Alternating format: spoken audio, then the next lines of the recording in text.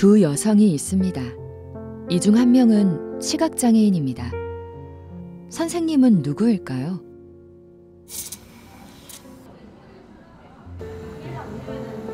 두 직원이 있습니다.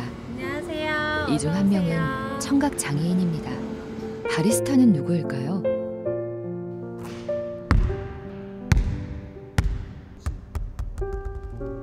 두 청년이 있습니다. 이 중 한 명은 지체 장애인입니다. 누구의 공일까요?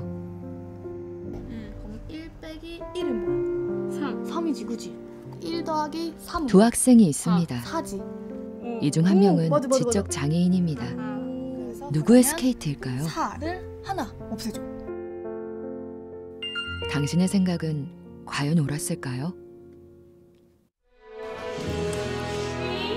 노력을 통해 편견을 깨뜨린 김경민 선생님.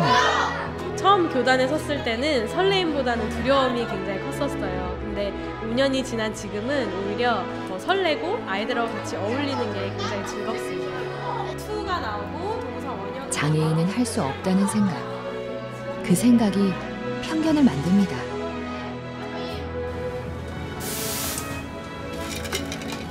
도전을 통해 꿈을 이룬 바리스타 최애나 씨.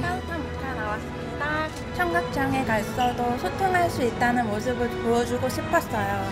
그래서 많은 사람들과 만날 수 있는 바리스타에 도전했습니다. 감사합니다. 맛있게 드세요.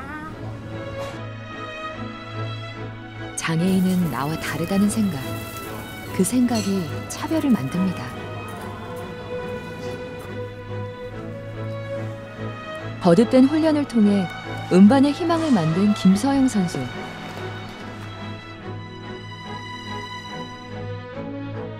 피겨를 타면은 기쁘고 즐겁고 행복하고 신나고 다 좋아요.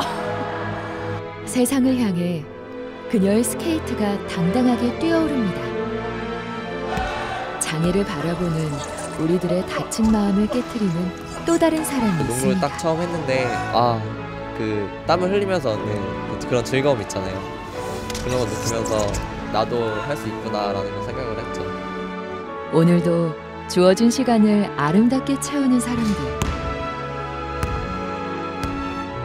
그들이 세상에 건네는 인사. 안녕하세요. 안녕하세요. 안녕하세요. 안녕하세요. 이제 당신이 대답할 차례입니다. 편견 없는 목소리로 안녕하세요 라고.